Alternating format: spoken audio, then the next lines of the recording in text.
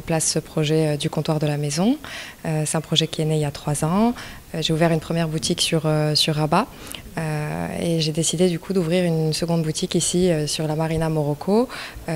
pourquoi? Parce que c'est un cadre d'exception qui, qui, est super pour venir se balader entre amis ou en famille. Et voilà, le comptoir de la maison, bah, c'est tout plein de gadgets à offrir et une expérience fun et originale à toutes les personnes qui, qui viennent nous rencontrer.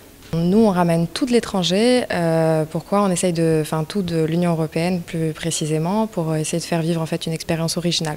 Notre valeur ajoutée, c'est vraiment l'originalité des produits pour euh, avoir des cadeaux sympas à offrir euh, ou à s'offrir dans des petits budgets.